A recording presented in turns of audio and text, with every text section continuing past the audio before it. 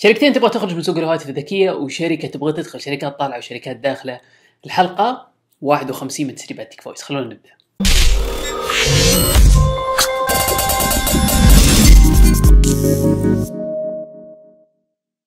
السلام عليكم. أنا ادهم من تيك فويس وهذه الحلقة 51 من سلسله تيك فويس وهي السلسلة اللي نتكلم فيها عن الأجهزة اللي ما بعد نزلت. تقريبا كل الأجهزة المهمة في 2015 نزلت بقى شوية أجهزة.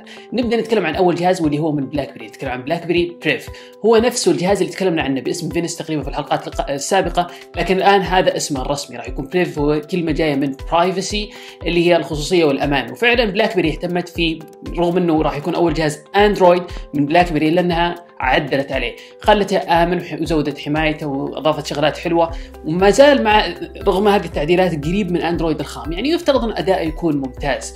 وكويس ان آه بلاك بيري فهمت هذه اللعبة وما حطت واجهة ثقيلة. أو مبدئيا هذا اللي قاعدين نشوفه من الصور. ونشوف قريبا إذا جربناه.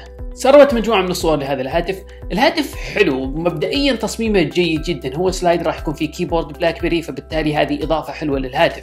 الشاشة راح تكون كبيرة 5.4 إنش دقة Quad HD أو زي ما يسميها البعض 2K راح تكون أطراف الشاشة منحنية يعني edge نفس تقريبا سلسلة Edge من سامسونج معناته إنها راح تكون جميلة نفس ما شفنا ال Edge من سامسونج. بقية المواصفات راح تكون 3 جيجا بايت RAM البطارية غير قابلة للازاله لكن ما تأكد حجمها والمعالج راح يكون Snapdragon 808 وأنا أعتقد بانه بلاك بيري فهمت هذه الخطوة لما حطت Snapdragon 808 كويس إنها ما حطت 810 يعني أنا صراحة توقعت بأنها راح تخبط شوي زي السنة الأخيرة وتجي تقول وش آخر معالج نزل هو 810 يلا نحطه. لا كويس إنهم ما جابوا العيد. أنا شخصيا أعتقد إنه إذا بلاك بيري تبغى تبيع كمية كبيرة وتبغى ترجع تنافس لابد يكون السعر مقبول. التسريبات تقول بأنه سعره في الصين راح يكون 630 دولار وهذا يعادل 2363 ريال أو درهم تقريبا. الآن هذا السعر حسب التسريبات مخصص في الصين يعني ممكن يكون أغلى ممكن يكون أقل في الدول الأخرى لكن أتمنى إنه يكون سعره ب 2000 أو حتى أقل 2000 ريال نتكلم طبعا لأنه كل ما كان أقل كل ما الشركة راح تبيع أكثر. وليش أنا أبغاها تبيع أكثر؟ لأنه الخبر الثاني يقول لك بأنه بلاك بيري قاعدة تحاول محاولتها الأخيرة. بلاك بيري تخطط بأنه تقريبا هذه محاولتها الأخيرة اللي راح تكون مع اندرويد راح تطلق أكثر من جهاز بنظام اندرويد إذا ما نجحت خلال 2016 فممكن تطلع من سوق الهواتف الذكية. وأنا شخصيا ما أبغى أي شركة تطلع لأنه إذا طلعت شركات قلت المنافسة بالتالي ما راح نستفيد. وفي شركة ثانية حتخرج من سوق الهواتف الذكية واللي هي سوني. سوني بالفعل تفكر إنها تطلع إذا ما نجحت بالهواتف الذكية.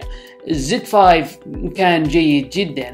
إلى الآن ما جربناه في تيك فويس ولا اختبرناه. ولكن اللي يقرا المقالات اللي يكتبها أنا بشكل دوري تقريبا في الموقع لاحظت أنا الفترة الماضية بأن سوني تقريبا غيرت سياستها. سوني ما كانت من الشركات اللي تروح تسابق في الأرقام باستثناء الكاميرا حطتها 21 ميجا بكسل لكن غير كذا ما كانت تسابق في الأرقام لدرجة إنها قفزت من 1080 وحطت 4K فجأة لانها قاعدة تحاول محاولاتها الأخيرة قبل تطلع من السوق. وأكيد ما ودي حتى هي تطلع من السوق. شركتين كبيرة راح تطلع من السوق لكن في شركة راح تدخل سوق الهواتف الذكية ومن هي؟ هي بيبسي. والإعلام جالس يرفع في بيبسي أوه بيبسي بتنزل جهاز أندرويد يا سلام wow. وهذه الحركة هي نفسها سووها مع فيسبوك وسووها مع امازون وبعدين وين أجهزتهم؟ الإعلام سحب عليهم طنشهم بكل اختصار. وهذا الشيء اللي أتوقع إنه راح يصير مع بيبسي أول ما تعلن عن الجهاز. واللي راح تعلن عن جالكسي S 7 في بداية 2016 عدد من التسريبات قالت بأنها راح تقدم موعد ال S 7 مثل ما قدمت موعد ال Note 5 ليش ممكن يكون بسبب المبيعات؟ ممكن يكون أسباب أخرى مثل ما سوت مع ال Note إلى الآن مو واضح طبعا الشغلة الثانية الجديدة في الجالكسي 7 والخبر اللي كان مفاجئ لي ومتأكد إنه راح يفاجئ. ما راح أقول كلكم بس خلونا نقول ثلاث أرباعكم. هو إنه الجالكسي S 7 القادم راح تيجي فيه تقنية 3 D Touch اللي أعلنت عنها ابل في ايفون 6 S بصراحة خبر مفاجئ. التقنية هذه راح تاخذها سامسونج من شركة أعلنت قبل فترة بسيطة عن شاشات جاهزة. بهذه التقنية مستعدة الشركة أنها تعطيها الكثير من أجهزة أندرويد أو على الأقل الشركات اللي تبغى تحط هذه التقنية. فبالتالي بعام 2016 اللي هو القادم لا تستبعد أنه نشوف كثير أجهزة أندرويد فيها تقنية 3 D Touch اللي إحنا شفناها في الآيفون 6 S خبر مفاجئ صح؟